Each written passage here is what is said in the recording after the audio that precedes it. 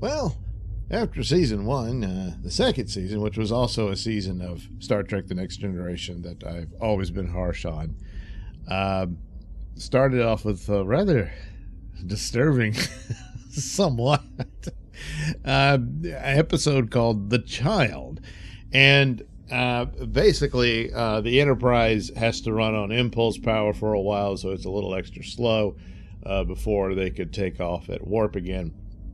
And as they do, some strange entity of pure energy, pure energy, pure energy, uh, comes along and uh, slips into the ship and seeks out ultimately uh, Deanna Troi, I guess because of her empathic abilities or something along those lines. And uh, they literally show it goes under. She's sleeping in her quarters. It goes under the covers. you can see it glowing through the through the sheet and it disappears into hey i wonder what. And then she's like oh she wakes up looking around all confused and something and then later on not not much later on when we find out well she's pregnant. So, um so uh and then it's there's this awkward moment where and they introduced the new doctor. This is when uh, Gates McFadden uh, left the show, apparently. Uh, I forget the whole backstory to it. Uh, but of course, eventually she comes back. But here, they still have Wesley on the ship, and it's like, what's he still doing there? Mommy's gone. Uh, and then ultimately he says, I want to stay on the ship, sir. And for whatever reason, Picard decides, well, all right, you can stay on the ship. So anyway, but they have uh, uh, uh, you know a conference with all the command staff, you know, and the doctor goes, "Well, she's pregnant, and boy, is she really far along," you know. and of course, Will's like, "What the hell?" He's like, "Well, who's the father?" I don't know. oh my God, Deanna. Uh, but it becomes clear this is not ordinary, as the the rapid gestation period uh, was in a matter of minutes, really. Uh, you know, maybe an hour or two, and then eventually she gives birth, and then the the boy uh, grows very fast. And uh, essentially, ultimately, the whole thing is that this alien entity was trying to understand uh, humanity or humanoids and decided, I know, I'll become one uh, through this virgin birth, if you will. Well, obviously, probably Deanna's not, but nevertheless, uh, was not conceived in the usual way. And so he was his own father in that aspect. and uh, for the briefest amount of time, he's existing uh, as this child, uh, rapidly growing uh, and then along the way, oh, he becomes this threat that they're uh, dealing with uh, transporting this uh, to- uh, well toxic or uh, not toxic but volatile unstable material and whatnot. And then he says i'm the threat mommy so i have to go. And so you know uh, he seemingly dies and then he's back to being a glowing light and uh, flies away it, there really wasn't a whole lot to it other than, well, here you are experiencing this uh, strange form of life that uh, you wouldn't ordinarily uh, uh, recognize. And it reached out in order to understand them, and this is how it did it. But boy, what talk about putting her through the ringer, you know, and all that. But it, it it to me it kind of fell flat in that that it just kind of ran out of steam and it was just this incident uh, but on the other hand i kind of appreciate the effort of trying to uh, what the possibilities are in a truly alien existence in outer space and what could you encounter and all that and how something uh, that is capable of it would cross over into to try to understand another species by becoming that species. Um, and uh, some aspects of it kind of reminds me of the Starman movie. And then, of course, you can go to the whole concept of, well, what supposedly happened with Jesus and all that sort of thing.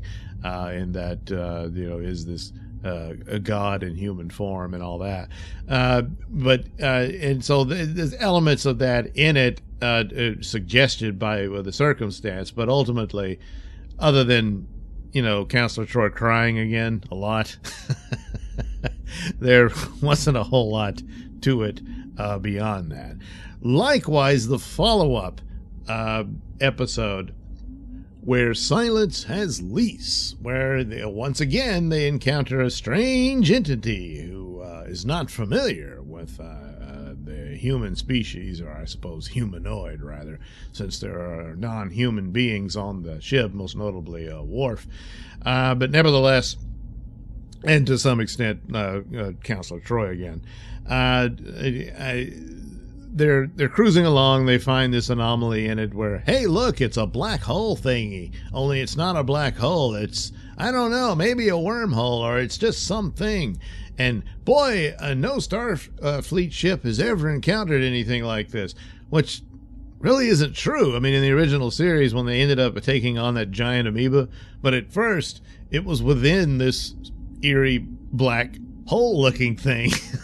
it was very similar. So I don't know, but this was uh, very different as uh, they go into it and fall right for the trap, and then they can't get back out. No matter how fast or far they go, they cannot escape this whatever it is.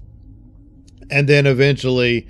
Uh, they begin to realize there's an intelligence at work. They start uh, experiencing uh, mirages of uh, Romulan ships and then a, a, a sister Starfleet ship that Worf and uh, Riker actually beam onto it and then uh, end up it was it's all weird the, the, bridge isn't where it's supposed to be then they open a door and they're back it's it leads them to yet another bridge and, and then they start seeing each other it, it, it's warping all space and reality for them and then eventually, uh, well, they beam back before the ship disappears, and uh, so on and so forth.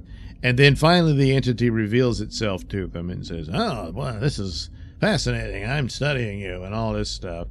Uh, it ends up killing uh, one of the crewmen just to see uh, what happens. Oh, you guys can die. That's interesting, you know. And Picard is like, "This is outrageous. You can't do this to us."